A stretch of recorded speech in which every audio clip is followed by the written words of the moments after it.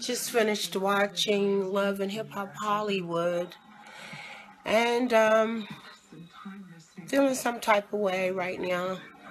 My daughter and A1 eloped and um, just trying to.